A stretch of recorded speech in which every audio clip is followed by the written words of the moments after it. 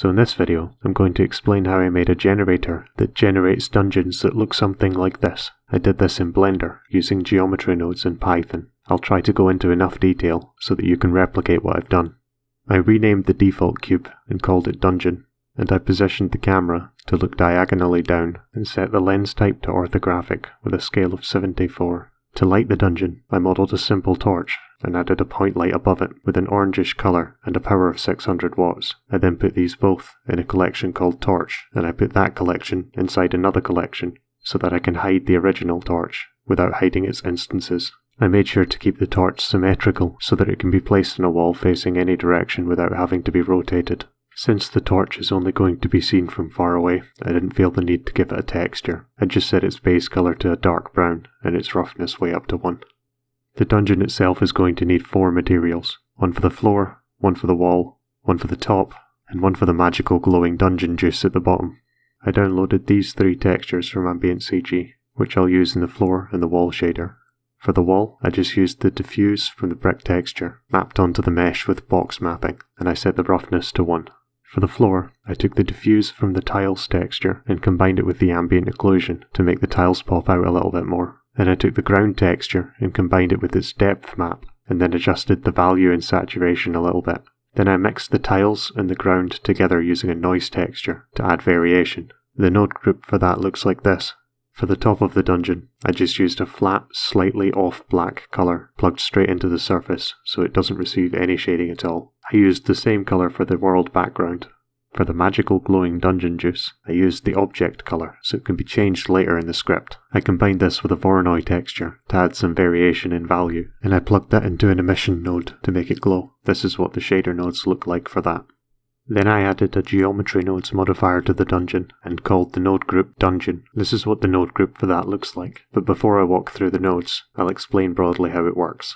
We start just with a pool of pure glowing dungeon juice, and then we extrude out floors wherever there's going to be floors or walls. Then we extrude out the walls, and finally, we sprinkle some torches around to light the dungeon. We'll have to add another input to the geometry node setup. Set its type to integer and its name to seed. This will allow us to generate the same dungeon twice if we want to. So like I said, we'll start with a pool of dungeon juice to extrude things out from. Set the material of the whole geometry to Dungeon Juice. When we're writing the script, we'll be deciding which areas of the dungeon are walkable and which areas aren't, so the geometry node setup has to decide whether an unwalkable area is going to be a pit containing dungeon juice or a wall. We'll do that using this noise texture set to a scale of 0.02 and a detail of 0 so that it's very smooth. We'll add a random value to this based on the seed so that we can have a different pattern for each dungeon. We can decide that any tiles that are within 0.05 of the half point of this noise texture will count as over a river of dungeon juice. So if we're not over a river, or the tile we're on is walkable, then we know that the tile that we're handling is either a wall or a floor, and we can extrude it out of the dungeon juice. We'll set the material of the top of the extruded section to dungeon floor, and the material on the side to dungeon wall. For the walls, we'll extrude out anything that isn't walkable that's at the top of the previously extruded region. Then we'll set the top of that extruded region to dungeon top and the side to dungeon wall. Now we can sprinkle some torches around the dungeon by converting the faces to points and making sure we've only selected the sides of the walls. Combine that with a random probability of 0.1 so that we're not putting torches on every possible spot. You can change this probability if you want more or less torches. Then we instance the torch collection on these points and combine it back with the original geometry and output that. That's the geometry node group finished now, but it'll be hard to test it properly until we've written the script. Then we'll have the walkable attribute populated and we'll be able to see our dungeon. Before we proceed, double check that you've named your geometry node group dungeon and your dungeon object dungeon and the seed input seed because we'll be using these names in the script to find these objects. This is the script that we'll be writing to generate the dungeon. But before we get into that, I'll give a broad overview of how the dungeon is going to be generated. We'll start by randomly sprinkling rooms around the dungeon, making sure that none of them touch. Then we'll need to decide how the rooms are going to be connected. We'll do this by taking the middle points of all of the rooms and computing the Delaunay triangulation of those points. We could just connect all of the rooms like this, but that would create a very densely connected dungeon, so instead we'll randomly create a spanning tree from the triangulation. This way, we can be sure that all of the rooms can be reached. Now that we know which rooms we want to connect to which other rooms, we can carve L-shaped corridors between the rooms we've chosen to connect. So now that you have an idea of what we're about to do, let's dive into the script. To start with, we'll need to import some modules. We'll be using BPY, BMesh, Random, MathUtils, and ColorSys. Then we'll create some variables for configuration. Room placement attempts is the number of times the script will try to place a room. It's not necessarily the amount of rooms we'll have, as we'll discard any rooms that overlap or touch another room. Minimum room size is the smallest the room can be, maximum room size is the biggest a room can be, both measured in tiles. Map size is the size of the map in tiles, and tile size is the size of each tile. You can adjust these values to generate different dungeons, or you could even set some of these values randomly to add more variation to the generator.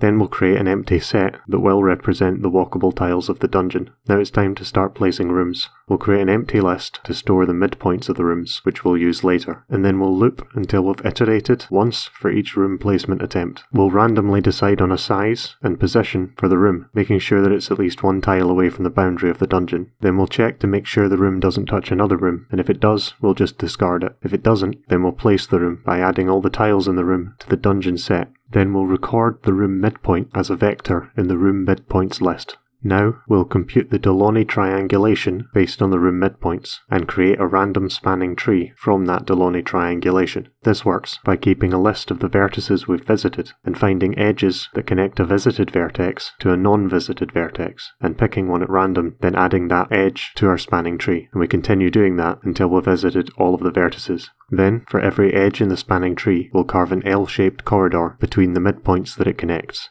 That's the dungeon generated. Now the second half of this script will just be about getting the dungeon into a format that works with our geometry node set up. We'll start by finding our dungeon object, or creating one if we can't find it. Then we'll make sure that the dungeon object has the dungeon geometry node group attached, and if it doesn't, we'll attach it. Then we'll set the dungeon modifier's seed to a random integer, and we'll set the dungeon's mesh to a grid based on the map size and tile size that we decided on earlier. We'll then add the walkable attribute to the mesh, and set that attribute based on the generated dungeon set that we made earlier. Then we'll update the mesh so that the geometry nodes modifier can update. And finally, we'll randomly set the color of the dungeon object, which controls the color of the dungeon juice. Now the script is finished, and all we have to do is run it to generate a new dungeon, and you can keep running it until you've got a dungeon you like. To illuminate the dungeon a little more, I added a sunlight with a strength of 3 and an angle of 40 to make sure the shadows were nice and soft. Then in compositing, I added some bloom and adjusted the colours a little bit until I had something I was happy with.